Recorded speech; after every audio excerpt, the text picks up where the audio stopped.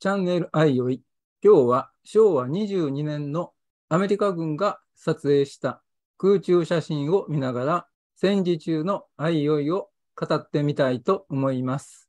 日本を占領したアメリカ軍は昭和22年、日本中に飛行機を飛ばして空中写真を撮影しました。この時、日本の国土が初めて体系的に写真に撮影されました。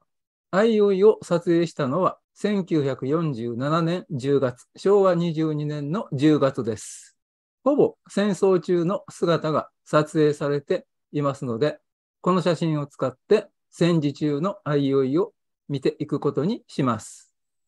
山陽本線です。相生駅、1890年に山陽鉄道名場駅として開業しました。昭和17年、1942年、相生市になった時に、名場駅から相生駅に改称されました。この頃は伏線になっていますが、まだ電化はされていません。赤光線は工事中です。赤光線は昭和10年代に山陽本線のバイパス線として建設が始まりましたが、戦争の激化によって工事が中断してしまい、開通するのは昭和26年になります。赤光線は相生駅を出ますと、宮山のトンネルに入ります。宮山のトンネルを出て、ここが西相生駅になります。そこからもう一度高取トンネルに入り、高取トンネルを出て、佐古市赤港に向かいます。戦時中までにほぼ路線とトンネルは完成していましたが、まだレールは引かれていないようです。道路で戦時中、最も大切な基幹道路は西国街道でした。1955年、昭和30年に山陽本線の北側に2車線の現在の国道2号線が建設されて、それ以後、西国街道は旧国道と呼ばれるようになります。西国街道はほぼ江戸時代の幅のままで、車がすれ違えるような幅ではありませんでした。もっともこの頃、日本には車はほとんど走っていませんので、その道幅で十分でした。この道は阪神工業地帯と北九州工業地帯を結ぶ幹線道路なんですが、一車線の道でよかったということはそれだけトラックによる陸上輸送は行われていなかったということがわかります。つまり日本はアジア太平洋戦争を鉄道と海運で戦おうとしていたことになります。自動車はアメリカでは T 型フォードが普及し、ハイウェイが建設され、ドイツではアウトバーンが作られていました。それに対して日本は車はほとんど走っていないから、江戸時代の西国街道のままでいいということだったんですね。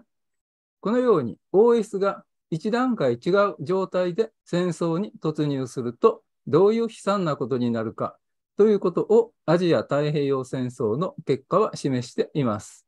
では、道をもう少し詳しく見ていきましょう。この辺りでは大阪と広島九州を結ぶ西国街道と辰野と赤穂を結ぶ赤穂道が交差します。西国街道は少城からやってきて、でこの辺りで北に曲がって相生駅のすぐそばを通っていました。そして穴門の辺りで現在の旧国道に合流して山沿いを若狭の方に向かいます。江戸時代中期になりますと、西国街道は私たちが知っている旧国道に付け替えられます。西国街道が相生駅の近くを通っていた頃、赤穂道は現在市民病院があるあたりで川を歩いて渡り、縄に向かっていました。この写真でここにその痕跡が写っています。江戸時代後期になると西国街道は現在のルートに変わり、久我で西国街道から赤穂道が分岐して縄に向かいます。この Y 字型になっているところに、西国街道と赤穂道を示す石の道しるべがありました。明治時代の赤穂道は、王国橋を渡り、古い赤穂道と合流して、生の町を抜けて、西出町の三角広場と今私たちが呼んでいるところから山の方に向かって佐賀の方へ向かいます。今、イオンタウンになっているところは、江戸時代は塩田で、道が現在の浜国道のように通れるようになったのは明治20年代のことです。佐賀に入り、川の合流点を過ぎますと、赤穂道は千尋の谷を通って高取峠を登り、赤穂へ向かいます。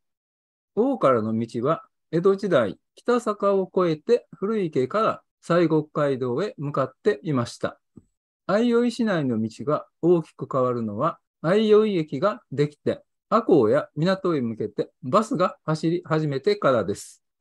バスを通すために広い道が必要になりました。西国街道が戦前確服されなかったのは、バスが通らなかったからではないかと考えられます。戦前、矢野には、辰野から大後の観音までバスが乗り入れていました。一方、相生駅周辺の東西交通は山陽本線がありますので、バスを通す必要はなかったのかもしれません。バスが必要だったのは、相生駅から港に向かう。相生駅から赤穂に向かうコースでした。そこで、このコースにはバスを通すための広い道が作られます。相生駅から港赤穂に向かうバスはどこを通っていたかというと、港に向かうバスの場合は、相生駅を出て、お国橋まで行くと、お国川の左岸の堤防の上を走って、境橋を渡り、大正時代に鈴木商店が建設した藪台の社宅街の本町通りを走っていきます。そして新町の海岸沿いを通って大野町に入っていました。このコースは大正時代は馬車で、その後バスに変わります。大正時代、大野町長、唐田清太郎は駅から港にトロリーバスを引こうという計画を立てていました。もしこのトロリーバスが実現していたら、日本で最初のトロリーバスということになったはずです。赤穂に向かうバスは、新しくできた久我の中心を抜ける道を通って、お国橋を渡り、長の町の中を通っていきます。長の村役場の前を通り、西出町の社宅の中を抜けて、明治20年代に開通した海岸沿いの道へ入り、佐賀から江戸時代の赤穂道ではなく、新しく作られた高取山の北側を走る道に入ります。このように走って、ここで江戸時代の赤穂道と合流して、佐古市へと降りていきます。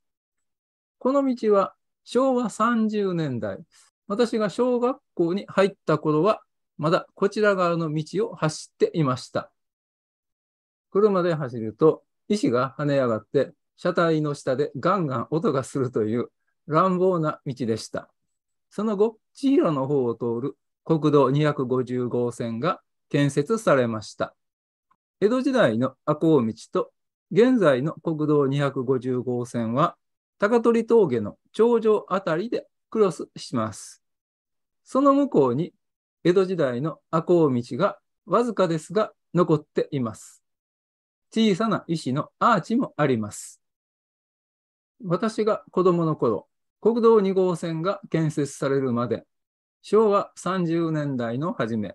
私が藪谷の社宅から生の保育所に通っていた頃、一番立派な道は、お国橋から生の港に向かう新道と言われるこの道でした。この道は2車線あって、コンクリートで舗装がされていて、すごい道だと思いました。もっとも車はほとんど走っていませんでしたが。だから昭和30年代の前半、藪谷の社宅から長の保育所まで、保育園児でも安心して歩いていくことができました。私が昭和30年代前半に長野保育所に通っていた頃は、ここに旭橋がついていましたが、この地図では旭橋はないですね。戦争が始まって、造船所の従業員が増えた時に、この辺りに新しい社宅が建設されました。ここは大正時代の社宅。こちらは昭和に入ってからの社宅です。その時に社宅の真ん中に道が作られて、愛遊駅から今私たちが普通に港へ行く道だと思っているこの道が開通しました。